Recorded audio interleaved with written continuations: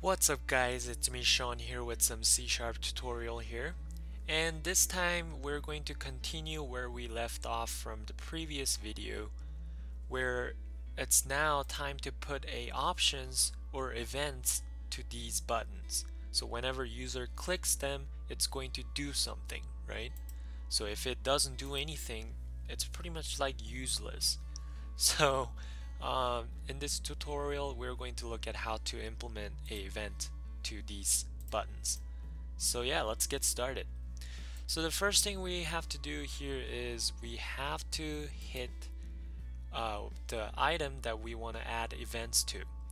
So let's say I wanted to add events to this exit option here. So whenever user double clicks exit or whenever user clicks exit, it will close the application. So what I'm going to do here is I'm going to bring my mouse to there and then double click that spot. And what it's going to do is it's going to create this method that says exit tool strip menu item has been clicked. So this happens only if user clicks that option there.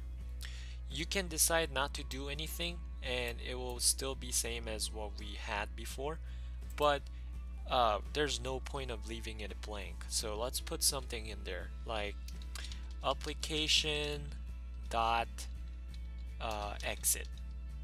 Yeah.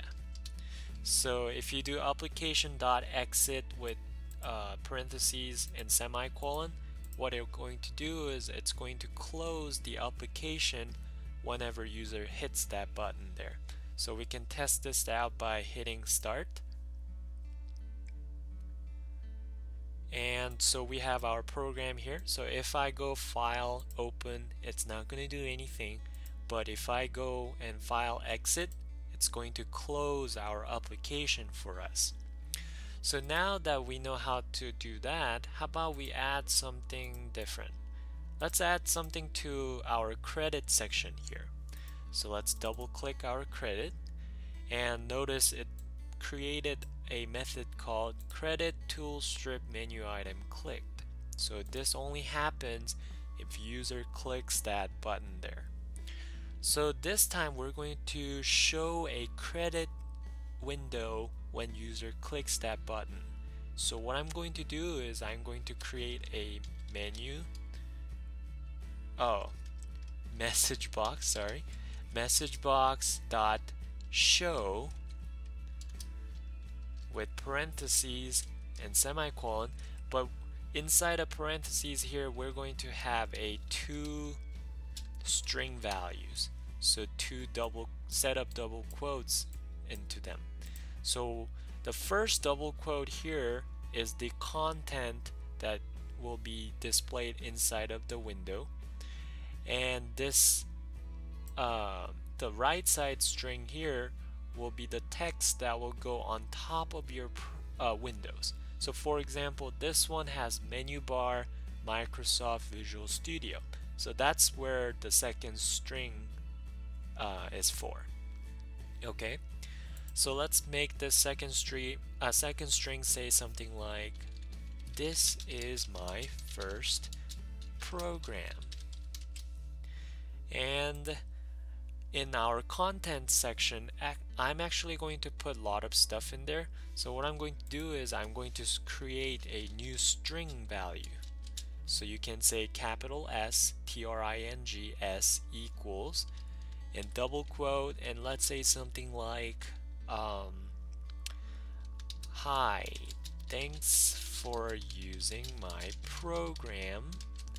And let's do backslash n and that is a new line uh, feed.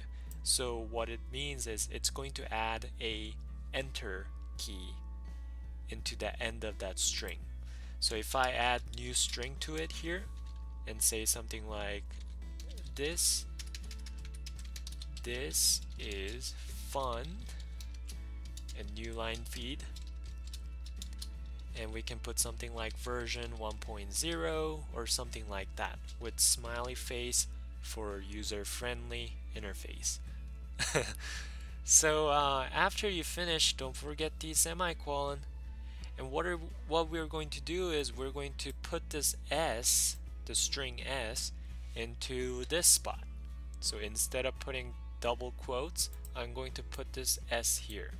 So you can pretty much have like a whole paragraph of string and then just put it in here instead of cramping all that stuff into that little segment there.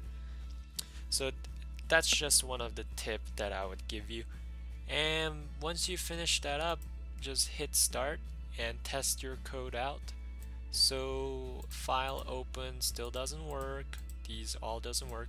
But if I hit about and credit, it's going to show you a new window with what? This is my first program and all the content inside. So yeah, that's how you make a options to your menus. So thank you for watching this tutorial guys and if you guys have any other questions please leave questions on the comment below and I'll see you guys next time. Thanks.